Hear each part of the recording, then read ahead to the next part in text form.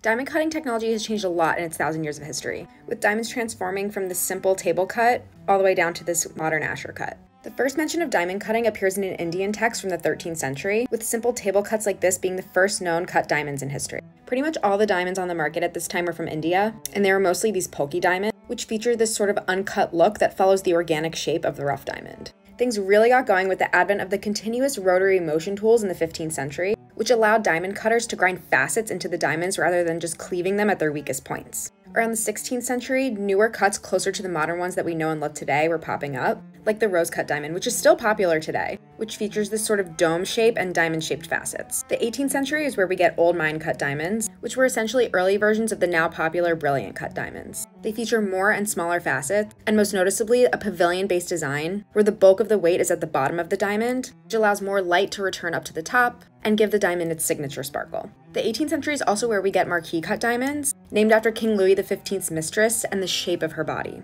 Old European cut diamonds came soon after, a more precise and round version of its old mine predecessor, thanks to the invention of the bruting machine in the 1870s. The motorized diamond saw was invented in the 1900s, which paved the way for brilliant cut diamonds as we know them today. In 1902, Joseph Asscher invented the Asscher cut diamond, and other modern cuts like the emerald, oval, princess, and radiant appeared throughout the mid 20th century.